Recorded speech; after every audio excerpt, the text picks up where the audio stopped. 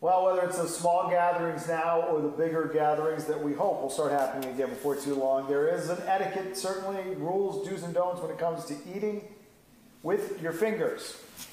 There's also an etiquette rule when it comes to putting your microphone on. We're talking about eating with your fingers as I use my fingers to put my mic on with etiquette expert Diane Gottsman, who can hopefully hear me now. Diane, thanks so much for joining us. Thank you. You were making, I was scared. I couldn't hear anything. Thanks for having me. Yeah, yeah. I use my fing- I use my fingers for many things, uh, putting my mic on when I'm supposed to, and other things.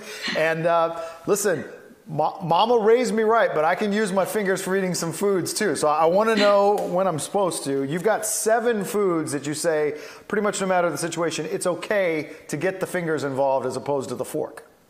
So, yes, we have some foods here, and there's so many more, but we have some foods that you can use your fingers with. And we're going to throw in, I'm going to throw in some etiquette tips on when you shouldn't use your fingers. So, um, starting with French fries. So, Dave, do you use your fingers for French fries?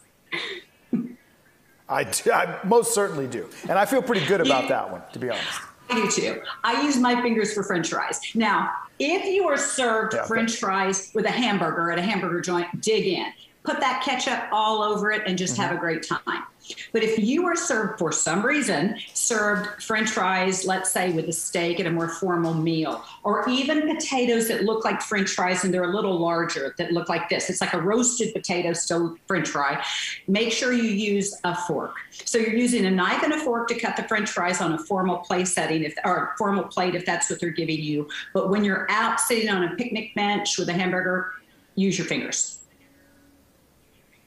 I think that's good. As we go forward here, I'm, I'm sensing, Diana, I'm sure you would say a little common sense on when to kind of dress it up or dress it down as the circumstance allows. No complete hard and fast rules for everything, but uh, that, that, that makes a lot of good sense. Um, okay, we're going to jump around here. You talked about French fries and the waffle fries. I'll start back up here at the top with one of my personal favorites, shrimp, and that is that is tough because sometimes you do need to get the fingers involved. Oh, these are so good. Okay, shrimp is delicious, but you use it. Let's say down the road, we're out of the pandemic, we're socializing again, you're at a cocktail party, you take a shrimp, put it on your napkin when you are at a buffet. You use it as a little, you use the tail as a little handle. When you are sitting at a meal, you can use your fork and your knife to get the meat in that tail, but your goal is not to get every single little morsel out of that piece of shrimp. Okay, so shrimps uh, little shrimp is delicious. That tail is a is a maybe. You can use your fingers when appropriate when it's crunchy, but not at a, a formal table. Okay, there have been times when that absolutely has been my goal, Diane, to get every morsel out, and I just feel like I've accomplished so much. We all know that it. thing when you get the whole tail and then sometimes when you leave it all in there, you know, okay, hit or miss. Uh, so many people love corn in the cob, corn on the cob, especially as the weather gets warmer. That's a that's a finger food. You're saying? Okay, that is a finger food, but it is not a one bite meal. So you can pick up the corn on the cob. You don't eat the whole thing in one bite. You know, you eat row by row. If they give you these little uh, pushers that go in the side of the corn, by all means you use them. But if you're a host of an event, backyard barbecue great very informal great but not at a formal meal because they're going to want to turn the person's going to want to turn their corn around cut the the little uh, layers off and it's going to be a big mess Okay, that's good. Good advice there. This one surprised me. I got to say. I mean, I've done it before, but uh, you say asparagus certainly can be a finger food a lot of times. So I think it's interesting because asparagus are if you if you're eating them like this, maybe for a dip, certainly finger food. If you're eating them from a plate, yeah. believe it or not, the protocol is if it's if it's firm, you could use your fingers. Do not don't do it because oh. people aren't going to understand and they're going to see you picking up that asparagus and you're just going to look like your mama didn't give you good manners. so use your fork and your okay. knife if it's a plate. If it's a dip, by all means, go ahead and jump in. But again, if it's some kind of dip, it's going to be your own dip for right now. You're not sharing dips with other people during this pandemic. I just have to throw that in.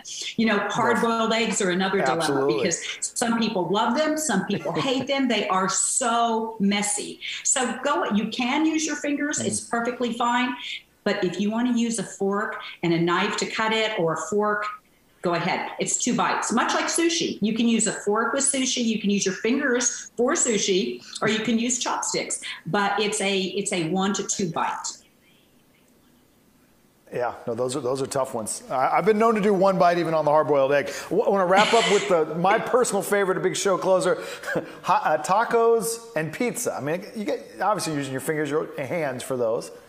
Just so easy. Tacos and pizza hands, but if the pizza is real gooey and hot and it's making a mess all over the place and you got to get back to work and you're at the, you, you, go ahead and use your knife and your fork, but finger food, great. And one last one black olives, not a finger food. Use the little tongs that your host gives you. you. You just follow the lead of the table, and your host will probably give you utensils if they want you to use a utensil. This is for a cupcake. Cupcake is finger food. But if they put a fork there, use your finger, use your fork because it's messy. See? Okay, very good advice tips, as always, Diane tips. I will try to follow all those rules. I will. I will even try to not try to get every little last bit of those shrimp out there, but that's going to be tough. I'm going to hear your voice in my head the next time those are in front of me. we appreciate it. Have a good week, Diane. See you later.